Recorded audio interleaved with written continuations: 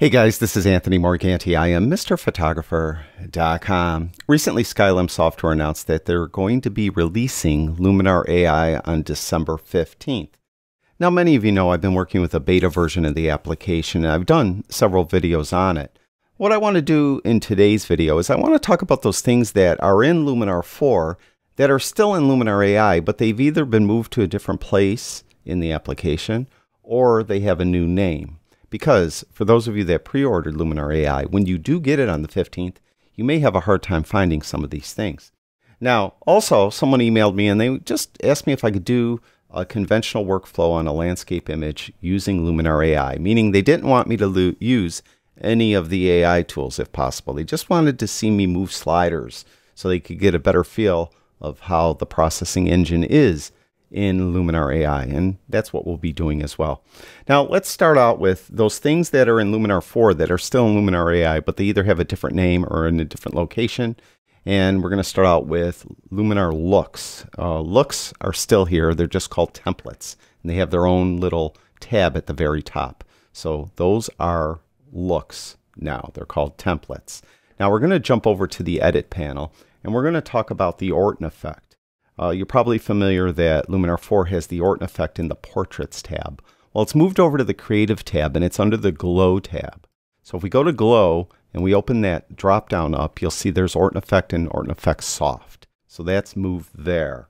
Also staying in this Creative tab, let's talk about split toning. Split toning's still here. It's just called toning.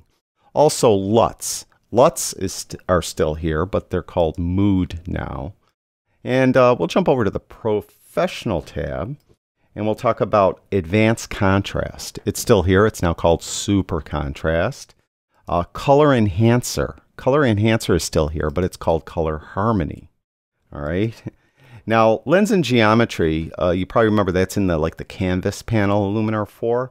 Well, it's kind of split up into two different uh, locations in Luminar AI. First of all, in the professional panel under optics, You'll see this is the conventional, you know, correct your uh, lens distortions here. You can click those uh, checkboxes to uh, correct the distortion and or click advanced settings and then you could manually adjust uh, lens distortion and D-vignette and stuff there.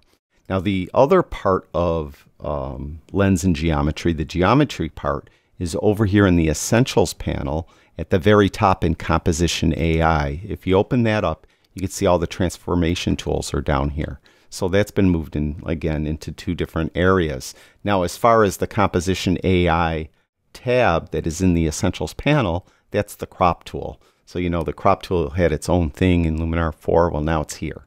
So you could crop, and it's pretty much a conventional crop. You just have that additional button here to get an uh, artificial intelligence crop if you want it.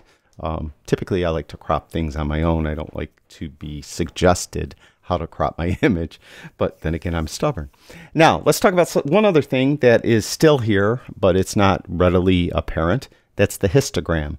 Uh, you know, the histogram is usually hanging up here on the top right-hand panel somewhere. Well, now you have to have to actually go and find it. And you go to View, and you go down here to the very bottom, Show Histogram, and you can see it's like this little overlay right here that you could barely see. Um, I kind of hope they change that because you'll see I'm going to process this image next and I'd like to use the histogram to get a white and black point. and and by default it's not here uh, so I'll have to always bring it up and as you can see it's kind of unobtrusive but uh, you'll see let's uh, let's just all right that's pretty much everything though that has been moved to a different area or has a different name let's process an image. So without using AI. So I'm not going to use like enhance AI, structure AI, anything like that. So let's just go to the light tool first. And to do like a conventional kind of workflow, what I would do is I would jump down to shadows. I look at what, what my image needs most and the shadows are kind of dark, right? So we'll, we'll open up the shadows, bring in the highlights, um, go to the whites and blacks. And this is where you'll need the histogram open to get white, a white and black point. Because you probably remember uh, with older versions of Luminar, at least on a Mac, I'm not sure this always worked on a PC, if you hold the Alt or Option key in, you could get a white or black point. And I am holding in my um, Option key on my Mac, and it, you can see it's not doing anything. I'm not getting that um, totally black screen that you would get when you do it. And then as you start to move the whites slider, you'd start to see some white bleed through so you could get that white point. Well, it doesn't do that, but you can do it with the histogram. With the histogram open, you either could click on the little triangle on the far right for highlights or on the far left, but instead what you could do is hit the J key. So when you hit the J key, you can see that I'm clipping my highlights uh, right now, but it is a sunset. That is the sun there. So as I go up, you see I'm clipping more and more. So that's why you kind of need the histogram open to do that. If you hit the J key, at least in the beta version I'm using, if you hit the J key without the histogram being on the screen, it won't work. So you'll need the histogram there. Again, I'm working on a beta version. Maybe they'll change that when it's released. But as far as the white point for this image, I think that's fine. Uh, even though I'm clipping a little bit there, um, it is a sunset. So we'll go to the blacks and I'll move that to the left and pretty soon you'll see blue come in, right? So I'm starting to clip the blacks. So a little bit, maybe, maybe a little more. I think something like that's all right. Let's go up to super contrast. See what happens if I move this around. Um, I don't know. I think like that. I think it was looking a little too crispy down in the water, and I think I took a little contrast away. It looks okay.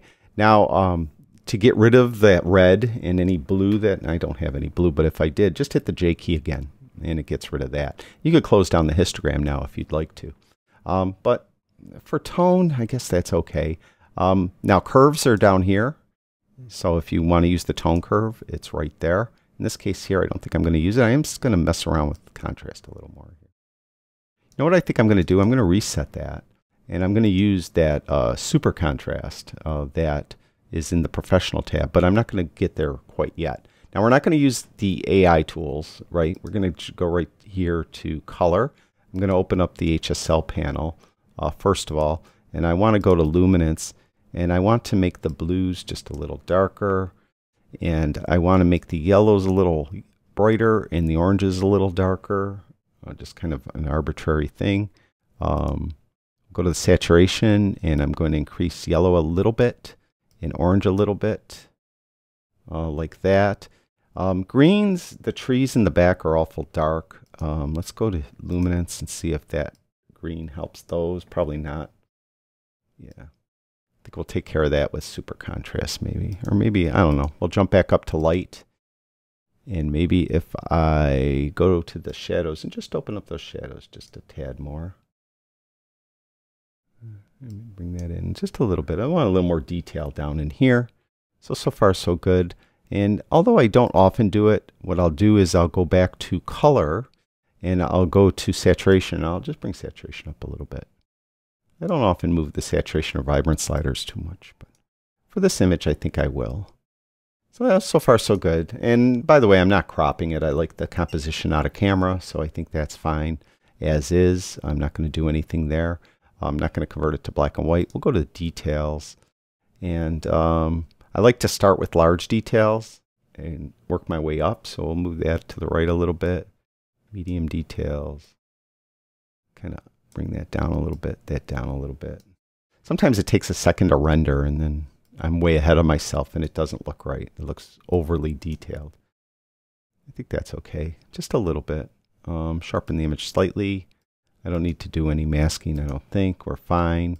Go to denoise. It was shot at very uh, low ISO, but I'll click on the image uh, to zoom in and wait for a second to render. I really don't see any noise at all. So I'll just move that up slightly. So that looks good.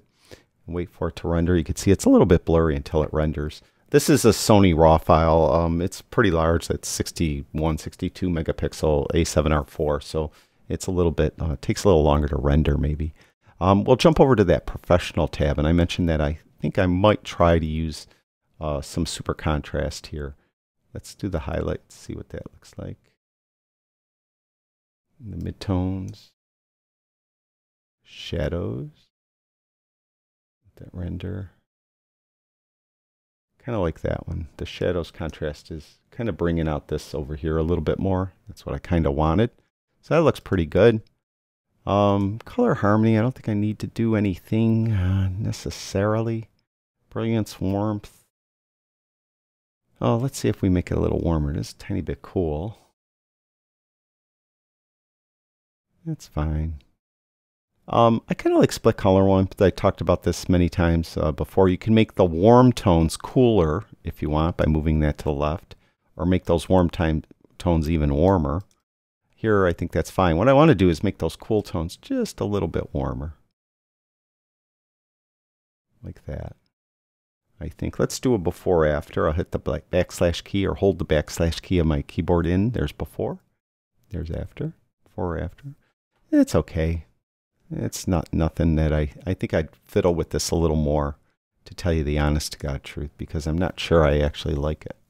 Um, there's just something about the tone that's not uh, sitting right with me at the moment. It's hard uh, to process an image and try to talk at the same time. Uh, sometimes it's just difficult to accomplish. Uh, but you get the idea, I think, of the processing engine that is in Luminar AI. Um, so go put a vignette on here. Something like that. There we go. So let's call that a day. There's before and there's after. I think I actually could do a better job uh, when I'm not talking. It looks okay. Nothing I probably would share on Instagram or anything like this, but I'd work on it a little more. But I, hopefully that gives you an idea of the processing engine that is in Luminar AI. Uh, many times on an image like this, I will go to the Enhance AI and I will push that accent a little bit to the right just to see what happens, but I would do it earlier in the workflow. In this case here, I don't know if it's actually helping the image at all. But um, something like that. You get the idea. So again, uh, those of you that pre-ordered it, uh, this is finally has a ship date. It's coming December 15th for both Windows and Mac. If you didn't uh, pre-order it or you're interested in getting more information on it, in the description below this video, I'll have a link to it. I do have a discount code, but the discount code doesn't always work when stuff is on sale. And that's not just for Skylum. That's really for any of the uh, companies I'm affiliated with. A lot of times they disable discount codes when something's on sale. But I'll have the discount code listed below. Uh, you could give it a try and see if it works. Um, that's it. That's uh, Luminar AI about to be released December 15th. Thank you, everyone who watches my videos. I really do appreciate it. Talk to you guys soon.